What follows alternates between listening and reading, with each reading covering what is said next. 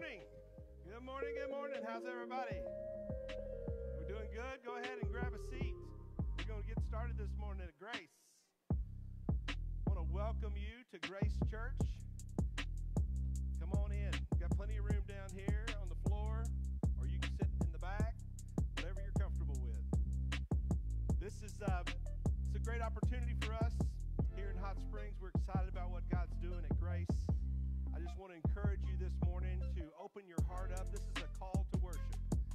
So we come in here from all of our busy lives and the things that we're doing. And I want you to make a decision this morning to open your heart up to what the Lord has for us through the word, through our worship, through the coming to the table. So I'm going to lead us in a word of prayer. Y'all go ahead and get settled. We'll have a we'll have an opportunity for our kids to go to kids church and then a sermon and we'll continue to worship and come to the Lord's Supper. Today is the second day of Advent, and so Advent is a season. And the word Advent means anticipation or coming, and so we anticipate the coming of Christ on Christmas morning. Last Sunday, we lit the first candle, which is the candle of hope. And this morning, we're going to light the candle of peace and continue to read the scriptures about the anticipation of the coming of Christ on Christmas night. We will have a Christmas Eve service here on Christmas Eve. We will not have a Christmas Day service on that Sunday. So, Christmas Eve service will be here. It'll be a candlelight service. We'll light our last candle of Advent, and then we'll all have Christmas with our families on Christmas morning. And we also will not have a service on New Year's Day. New Year's Day is on Sunday.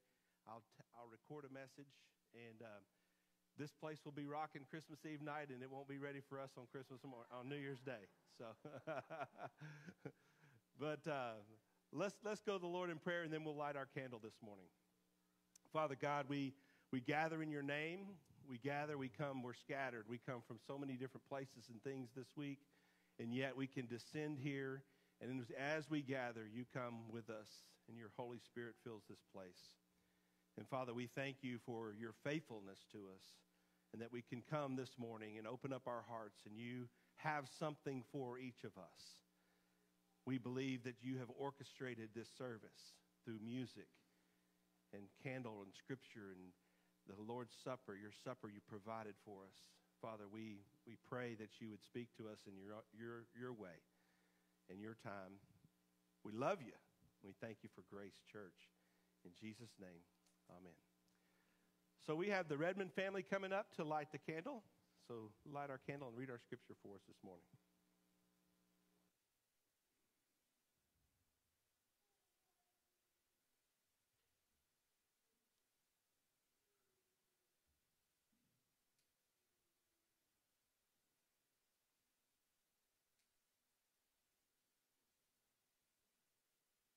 For my thoughts are not your thoughts neither are your ways my ways, declares the Lord. As the heavens are higher than the earth, so are my ways higher than your ways, and my thoughts than your thoughts. As the rain and the snow come down from heaven, and do not return to it without watering the earth and making it bud and flourish, so that it yields seed for the sower and bread for the eater, so is my word that goes out from my mouth. It will not return to me empty but will accomplish what I desire and achieve the purpose for which I sent it. You will go out in joy and be led forth in peace. The mountains and hills will burst into song before you, and the trees of the field will clap their hands.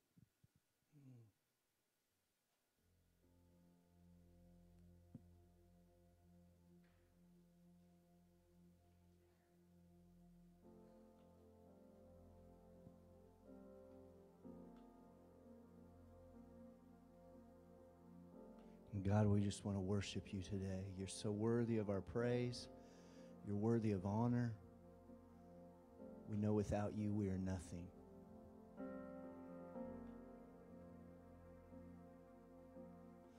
Amazing grace, how sweet the sound that saved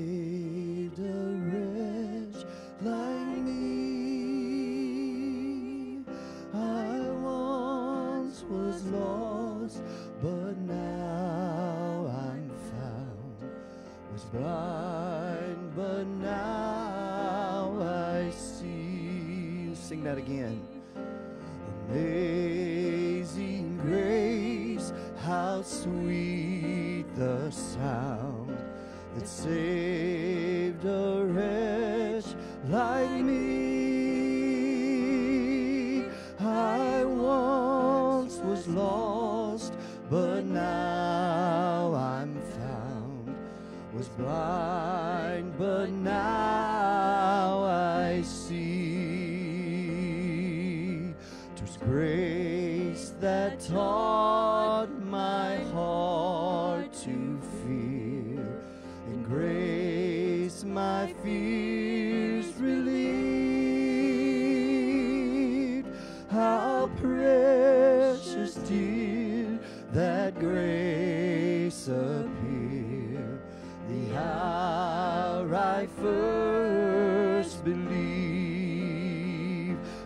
chains are gone, I've been set free.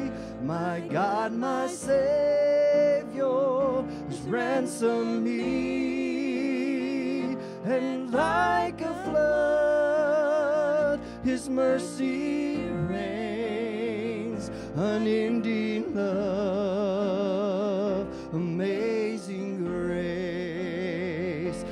chains are gone, I've been set free. My God, my Savior has ransomed me, and like a flood, His mercy reigns, unending love,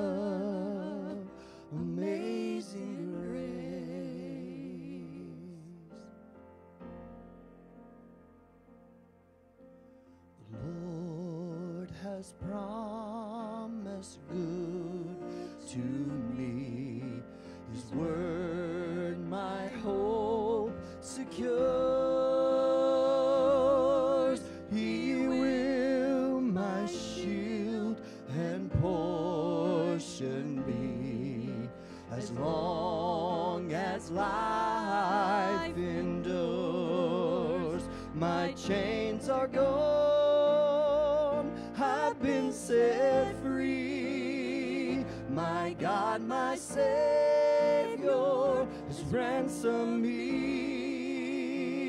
and like a flood, His mercy reigns, unending love, amazing grace, oh, unending love, amazing grace. It's always good to remember where we came from. One of us was bankrupt without God. That He covered our sin, that His grace and His mercy covered us. So we thank you, Jesus, for your grace and your mercy over our lives. The earth shall soon dissolve like snow. The sun forbear to shine,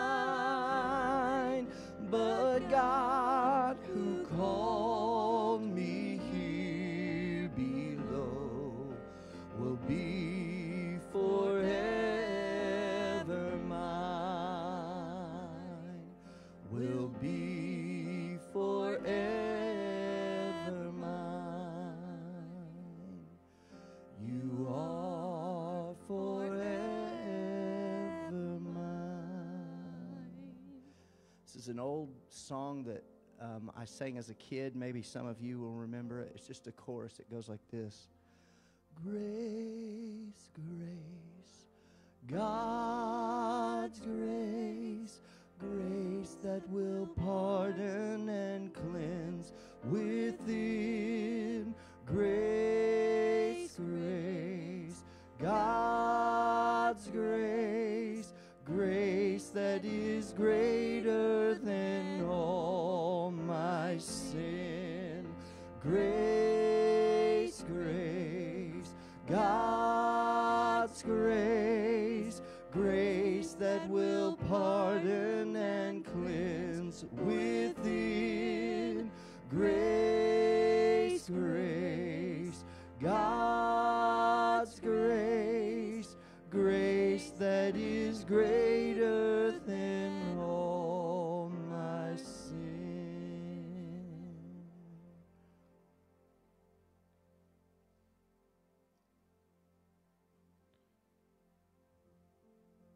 I don't know if you'll know this song, but um, there's nothing wrong with just soaking in God's presence, even if you don't know the words. Just to um, let's just uh, come into this place of just His presence. Chorus goes like this: When I bow down before you, I am richer than all kings. When I stand in your presence, I am free.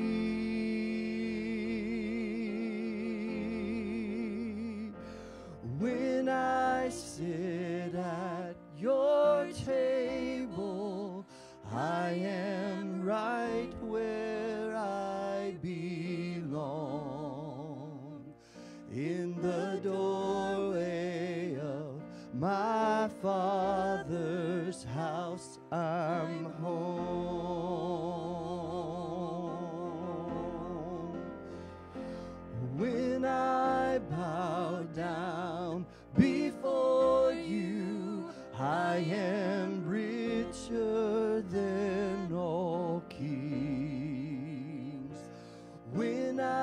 stand in your presence, I am free.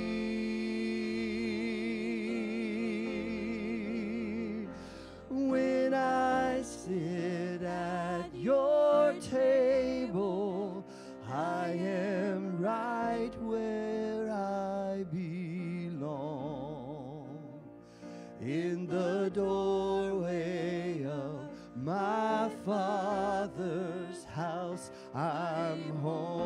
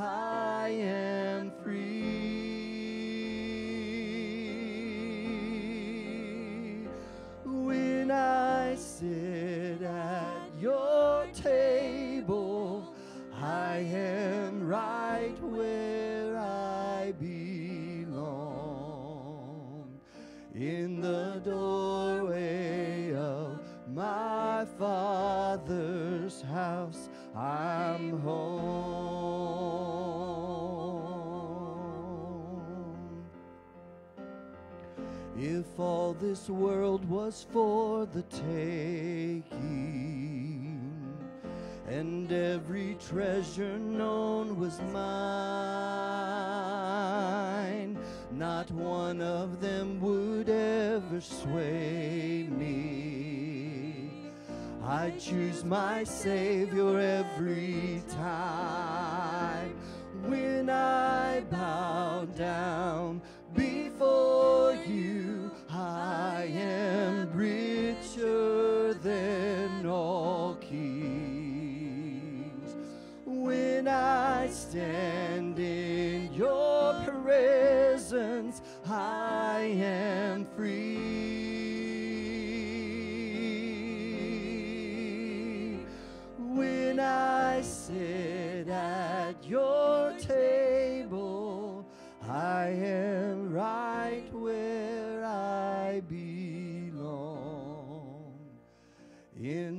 Doorway of my Father's house. I'm home.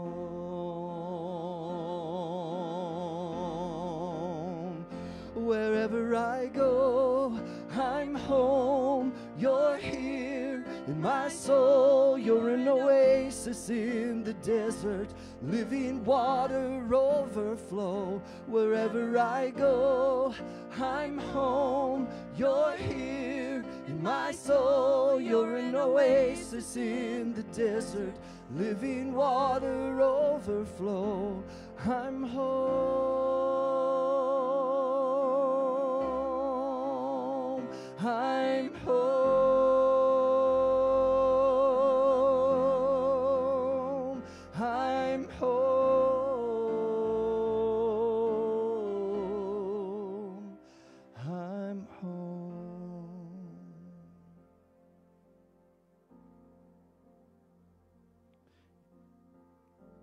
The Word of God says, Whoever loves me and obeys my commands, I and my Father will come and make our home with them. Isn't that good?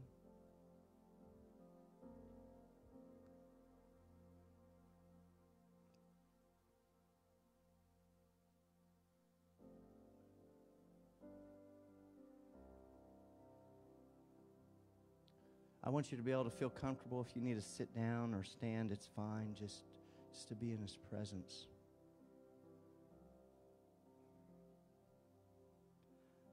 Hide me now under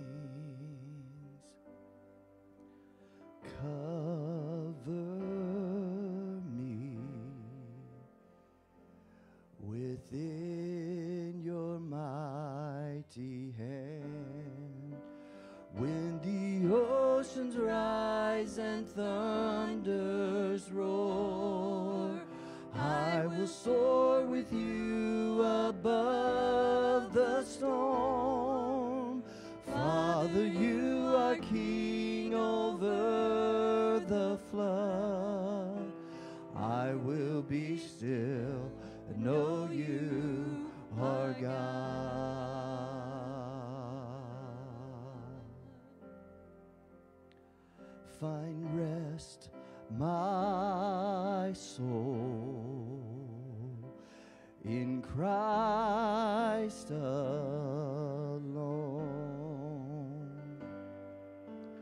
Know His power in quietness and trust. When the oceans rise and thunders roar, I will soar with you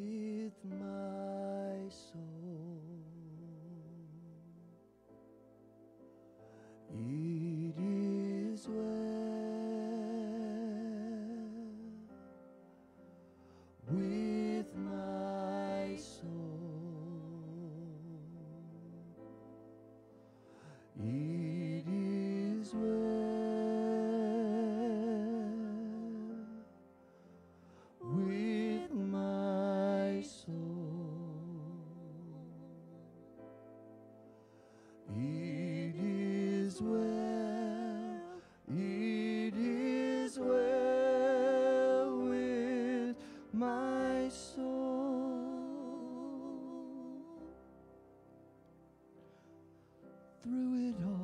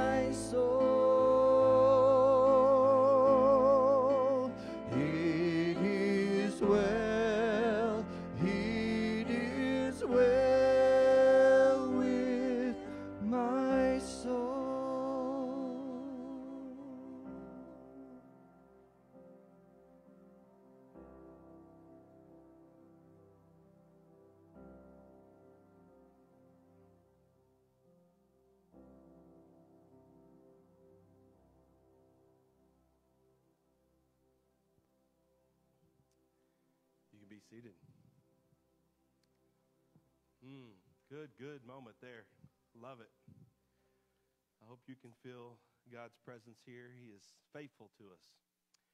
This is an opportunity for us to bring dollars to the Dollar Tree.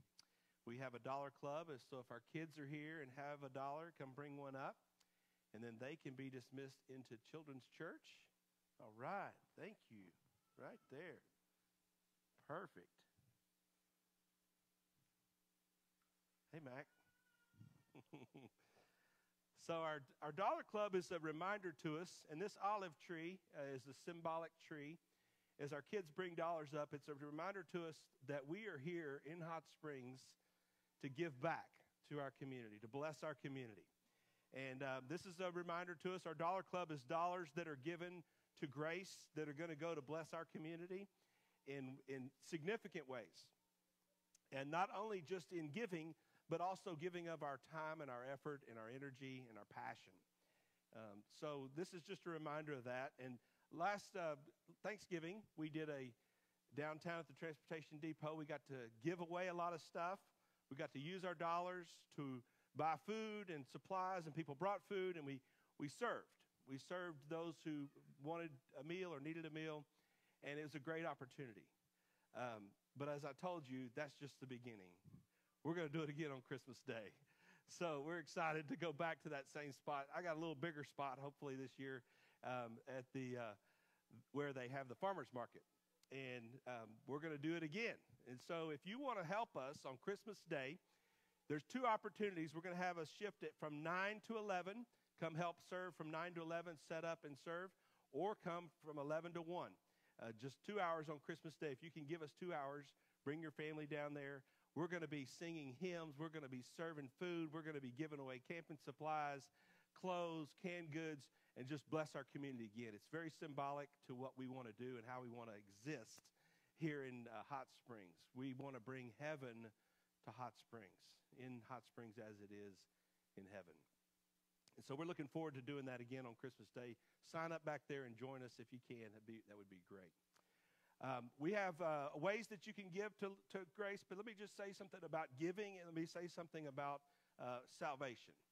Um, we don't want to um, cause you to, to give uh, reluctantly. We don't want you to pray to receive Christ out of guilt, or we don't want to manipulate you to do something like that. We want you to give because you want to give. And so we have a little giving kiosk back there. We have ways you can give online. But we also, if you want to know about Christ, if you want to know the gospel, call me. I've got a little business card back there. I would love to sit down and show you the scriptures and show you how to become a Christian if you're not a Christian. Um, I don't want to manipulate into that decision. I would love to instruct you into that decision because it's an important decision. Just like giving, giving's important. We don't want to do that out of uh, out of guilt or manipulation. We want to do it because we're excited about giving. You know, grace isn't interested in your money. Grace is interested in God having your heart. That's the difference. And when God has your heart, grace doesn't have to worry about giving. That's the way it works. And so we're, we're, we're confident of that. And that's just how we're going to operate here at Grace. We want it to be free. We want you to feel loved. But we have a plan, and God has a plan for your life in, in terms of giving and salvation. And so we would love to tell you more about it if you're interested. Well, it's time to go to the Word. Uh, let's do that this morning. We're going to look at the word peace. Uh, this is a very important message for me personally today. Uh, God has really been working in my heart this week and this year in regards to peace. So uh, I might get a little emotional this morning, but it's coming from a, a good place and a, and a deep place in my own heart. And so we're going to be in Philippians chapter 4 as we look at this word peace. But let me set it up by saying this. If you've ever been to Los Angeles, I've been there recently because I have a daughter that lives there. The driving habits in LA are a little different than they are in Hot Springs. If you go to LA, I don't think they put any uh, blinkers or markers on their car that they're going to turn. They don't use the blinker in LA. They just turn. They just move. They go from lane to lane with no signal. Okay, that's just the way they drive in LA. And in addition to that, they also drive very aggressively in LA, a lot more aggressive than they do in Hot Springs. Uh, stop signs are just kind of a suggestion in, uh, in LA. And um, there's also many, many lanes of traffic in LA uh, and you will be in the maybe from the 405, the most busiest interstate in all of the world. Over 500,000 vehicles in a 24-hour period are on this interstate.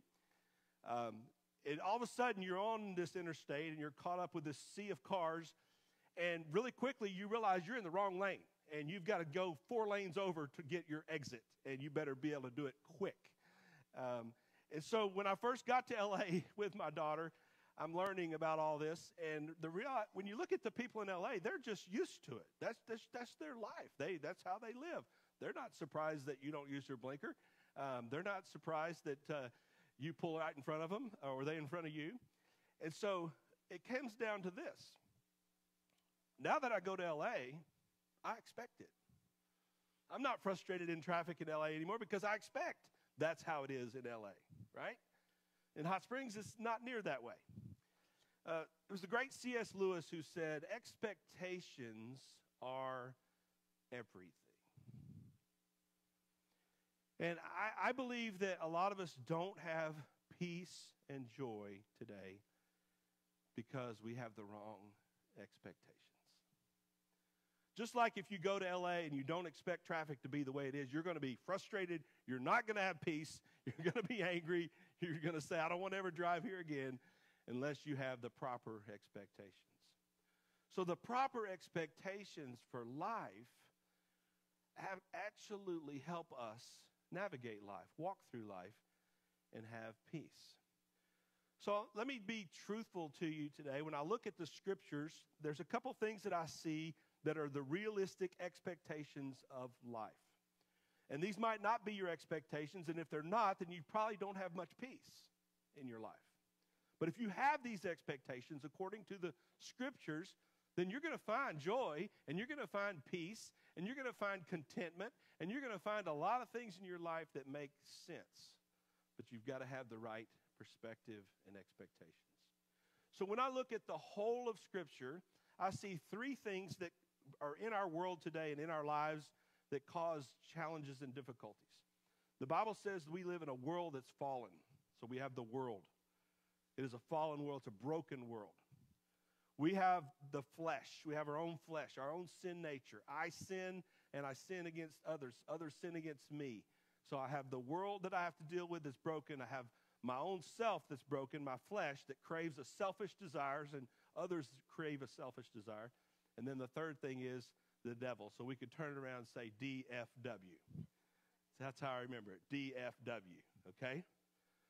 So the proper perspective of life biblically is that we live in a world that's broken, we have people that are broken because of sin, and we have a devil, an enemy, who is an adversary. He is against the things of God. He is all about darkness. Okay? Now, that is the right perspective biblically for a Christian. And I can show you all the scriptures that support that. So we read our text now this morning from Philippians. And so I want you to follow along with me. And Paul, the apostle, says, Rejoice in the Lord. I will say it again, rejoice. Let your gentle spirit be known to all men. The Lord is near. Be anxious for nothing, but in everything by prayer and with supplication and thanksgiving, let your requests be made known to God. And the peace of God, which surpasses all comprehension, will guard your hearts and your minds in Christ Jesus. Finally, brethren, whatever is true, whatever is honorable, whatever is right, whatever is lovely, whatever is of good repute, if there's anything, if any, any excellence, if anything worthy of praise, dwell on these things. These things you have learned and received and heard and seen in me. Practice these things, and the peace will be with you. Grace, this is the word of the Lord. You're better than that. Grace, this is the word of the Lord. Man, it is good to have God's word because this is truth. This is not my ideas. These are God's words and truth for us. So when Paul is writing this, he's not sitting on a beautiful place looking over the Sea of Galilee having a Cabernet and some goat cheese. Okay? He's in prison. Paul is in prison chained to the Praetorian Guard because of sharing the gospel.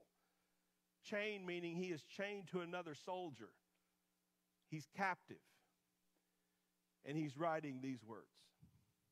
Paul has a different perspective, a different expectation for his life and for the world. That's how he can write this from prison.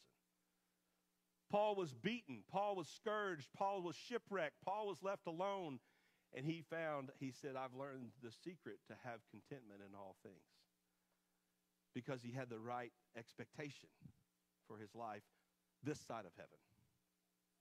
He said, For me to live and to die is gain. To live is Christ and to die is gain. That's his perspective of his life. So when you and I have the right expectations for our life, we can find a peace that passes understanding. That's what our scripture says. Passes an understanding. And so let's look at it in detail. I've got three points for you this morning. I want to look at the character of peace, I want to look at the discipline of peace, and then I want to look at the secret of peace. Okay? The character of peace, the discipline of peace, and the secret of peace. First of all, in your outline, the character of peace. I want you to note on your outline that this is not the absence of something, but the presence of someone. When you look at hope, or when you look at joy, the opposite of joy is sadness, or we could say grief. But the opposite of peace is anxiety. The opposite of peace is anxiety or fear. And when people look at anxiety or they look at fear, they oftentimes go to technique. Okay? The technique would be well, you need a work uh, rest balance in your life in order to have more peace and not have anxiety. Or you need to just stop thinking about that thing that's making you anxious. Just stop thinking about it. We go, so we go to technique. And, and so we, we go to willpower, you know, to uh, you need to work on these breathing techniques. You need to have this type of meditation. You need these techniques in order to relieve the anxiety that you have. And I, am not saying all those aren't somewhat beneficial. They, they can be. I, I, I love yoga. I go to yoga and it's relaxing. It helps me. There is, a, there is a calmness about some of those things that are good. but they don't suffice with everything we face in this life. And they are a part of the technique, not the whole package. You see, Scripture tells us that what we really need at the very core of who we are is not a technique, but someone. It's the presence of God. One of the greatest books that was written in the last century was by Brother Lawrence about the presence of God, practicing the presence. Okay? Now, this is a discipline, this is a practice, as Brother Lawrence wrote. And the idea is that God is always with us. And so rather than going to a technique or a willpower to control my mind, I have the presence of a God who's always with us. He says, Seek me and you'll find me. I will knock on the door and I, I stand at the door and knock, and, and I will open it. He is ready and available and willing to be in our life. And so, what I want to make this point about the character of peace is the idea that in this text, we see that the very beginning, the idea is Paul can rejoice in prison because of who's with him. Not the guard, but the Lord Jesus Christ. He says, Let your gentle spirit be known to all men. The Lord is near. The Lord is near to Paul. That's where his peace comes from. And so you and I have access to the Father. We have access to the Son. We have access to the Holy Spirit on a daily basis, every day, and we can practice his presence in our life. And that is the best antidote to anxiety because he is the Prince of Peace.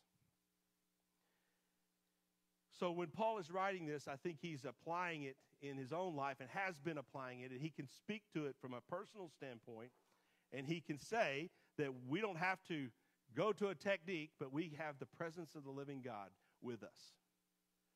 In the midst of a world that's broken, in the midst of sin, our sin, other sin, and an enemy who doesn't want to see us with peace. He wants to throw a lot of things at us to discourage us and cause anxiety. And you've been there as well as I have. The second point I want to make is that this kind of peace also needs to come from a discipline. And this is why Paul says here this is something that's learned. Okay, this is something that's learned.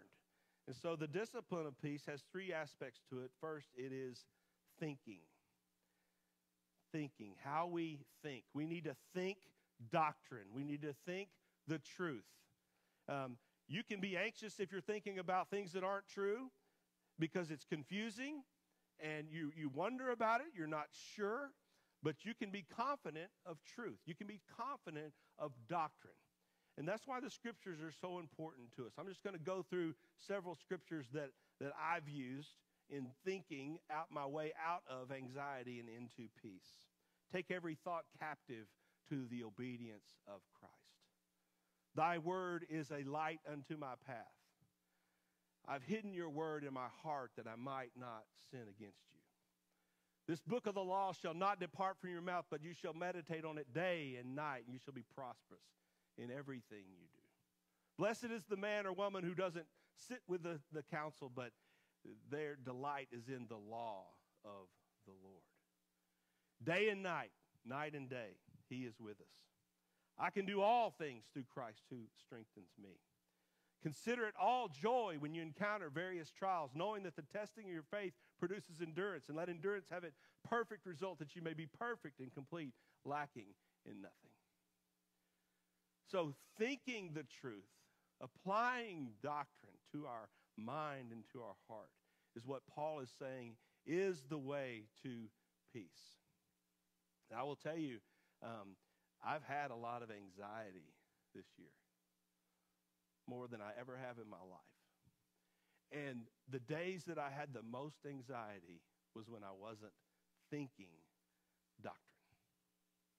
It was when I was thinking fear or thinking about my security or thinking about what other people were thinking about me. I got lost in anxiety and fear. And that's a horrible place to be. And the way I got out of that was to think the truth of what God says in His Word and proclaim it over and over and over.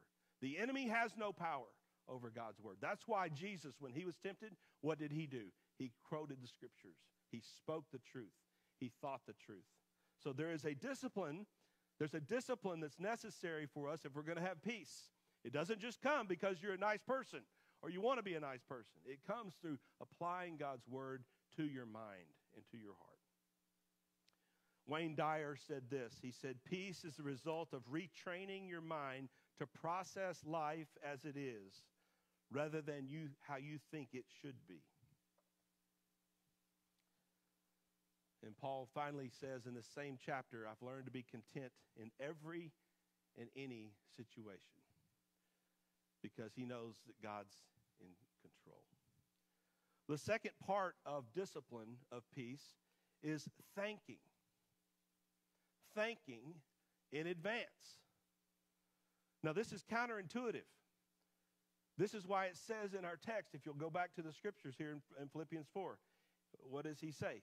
He says right in the middle of it, he says, Be anxious for nothing, but in everything by prayer with sup, sup, and supplication, with thanksgiving, let your requests be made known. See, oftentimes we will think, well, I will thank after I know God answers me. Because he gives me the answer I want, then I'll thank him. No, it doesn't say that. It says, thank him. This is not saying, thank you, Lord, my mother has cancer. That's not what it's saying. It's saying, Thank you for everything you've given me, all the blessings in my life. I'm so grateful. And you actually are grateful, and you look at all those things, and your mother has cancer. And God will answer that in the way that He's going to answer it, but you're going to be thankful regardless. You see the difference? Gratitude is an attitude of the heart, it's a choice that we make. And so we can be thankful to God regardless of getting what we want. And that's why this says it the way that it does. God wants us to be thankful and make our requests made known to Him. And be thankful for what He's going to do, when He's going to do it, how He's going to do it. That's a whole different ballgame. That, is, that has to do with the head and the heart being congruent with one another. That's why it says this in the text head and heart. They have to be connected. And you can't be thankful if you don't have thankfulness in your heart. You can say the words, you can think it, but if you don't believe it, it will show. So that's the second discipline uh, or, that we have to have is first thinking, then thanking in advance. And then number three, the third part of discipline is loving the right things. Loving the right things is a key to peace in our life. That's why he says in the, the latter part of this, he goes through the list of in, in verse 8. Notice, go with me there. He says, finally, whatever is true, whatever is honorable, whatever is right, whatever is lovely, of good repute. Okay? So, disciplining ourselves to love the right things. what happens when we love the wrong things? It creates anxiety. Because anything that we love, if it's a wrong thing, it's going to cause more anxiety because you have a fear of losing it. You, you have a fear of, of something happening to it. You have, some, you have a, a greater fear. And so we can love the wrong things and it can create a lot of anxiety or fear in our life. We need to love the right things. And that's why the list is there that Paul uh, lists for us. There are lots of good things that we can love. I love community. I love serving. I love seeing you serve. I love worship. I love seeing God work in, in Hot Springs and through other churches. I love seeing his kingdom come on earth as it is in heaven. I want to love those things, and those things bring peace to us because they're things of God. They're things that he, want, he made for us to love. And they're, they're not things of this world. And so let's love those things and they'll bring more peace and contentment to our life. The third thing that I see here is the secret of peace. If we're going to have peace in our lives, there's a secret to it, and Paul has the, the secret sauce, and this is this is it. If you love anything more than God, you'll not find peace. If you love anything more than God, you will not find peace. In our text here, Paul says to guard your hearts. That word guard is a military term. And the idea is that it's a it's an army surrounded around a city. And if you're in a city and you have an army around a city, you know what you do? You sleep well. Guard your heart and your mind in Christ Jesus and love God more than anything. Now, as I mentioned to you, the um, this year has been a challenging year for me in some ways, and God has taught me that I didn't love Him in some areas that I needed to. Hard lesson. You would have thought I would have had that lesson being a pastor since I was little guy, right? No. No.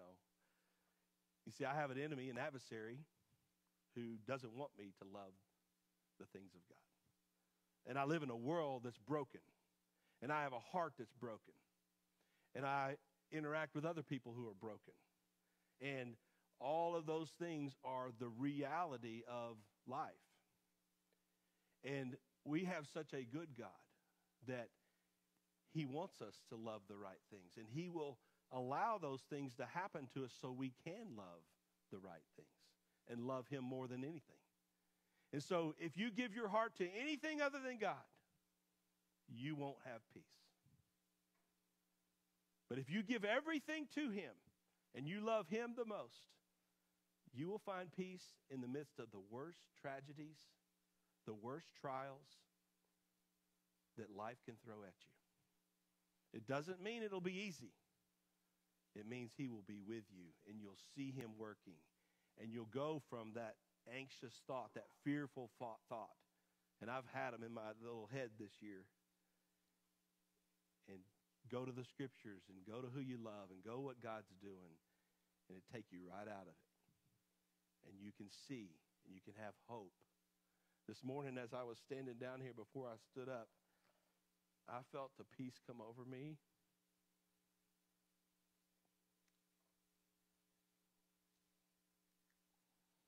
It was powerful. It was powerful. That's, that's God.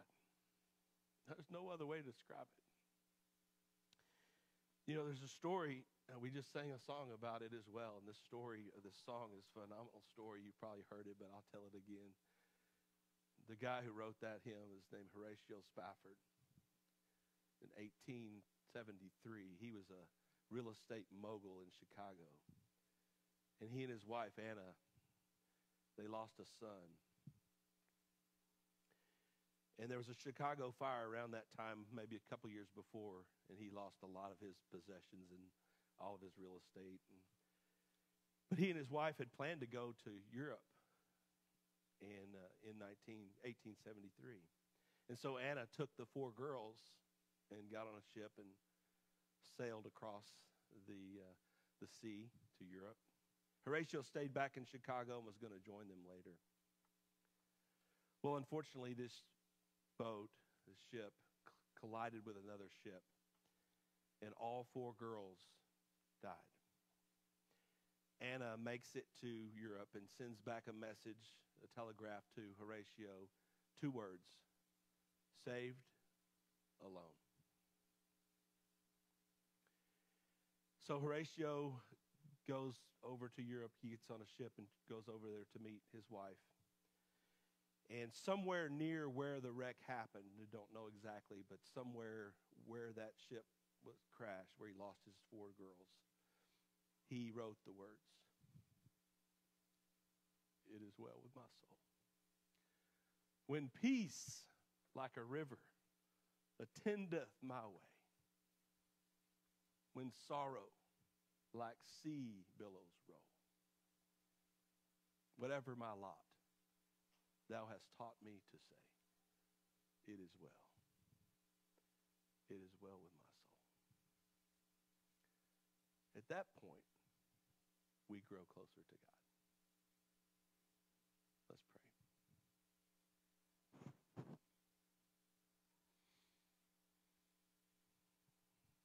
Father God, you are so faithful to us. And everyone in this room is broken. We're broken spiritually. We might be broken financially. We might be broken relationally. Everyone is broken. And that's the world we live in. That is reality. But that's not the end of the story. We thank you that we have a father who lost his son, who voluntarily gave up his son so that we could have peace. And we come now and we take and eat and drink and remember this sacrifice, the greatest sacrifice for us.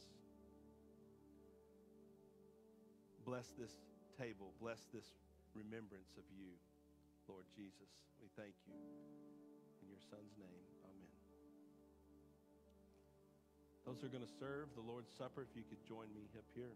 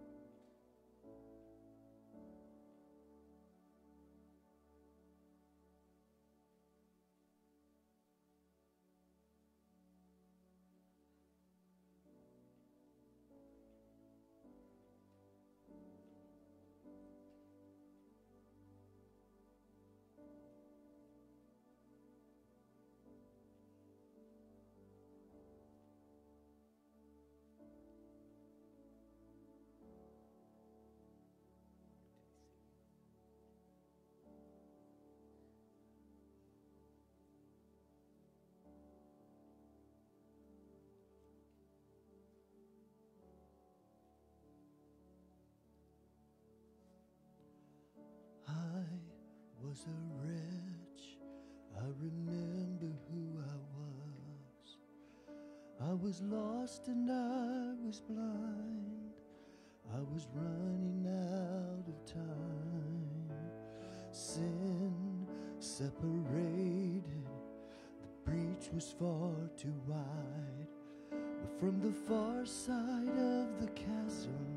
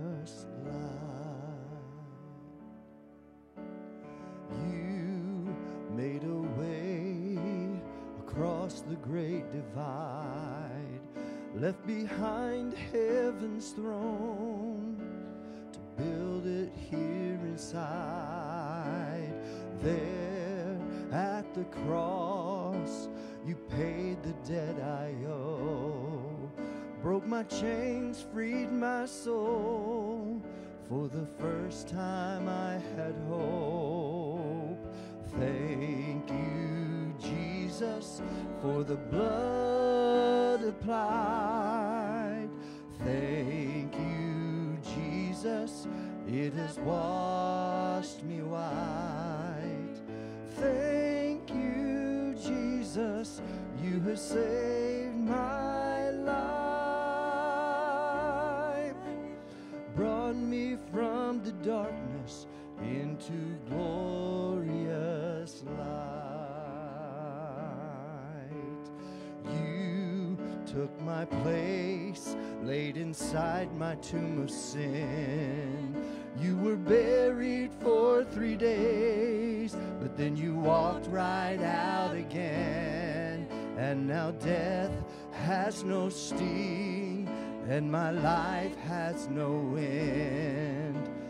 I have been transformed by the blood of the Lamb. Thank Jesus, for the blood applied. Thank you, Jesus, it has washed me white. Thank you, Jesus, you have saved my life. Brought me from the darkness into glorious light.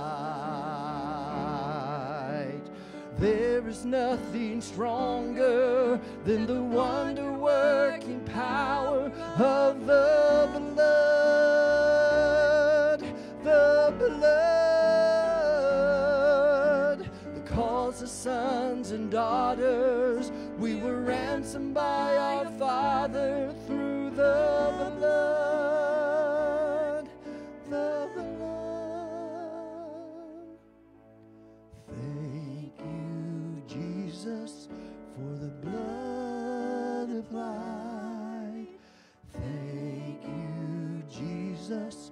it has washed me white. Thank you, Jesus, you have saved my life. Brought me from the darkness into glorious light.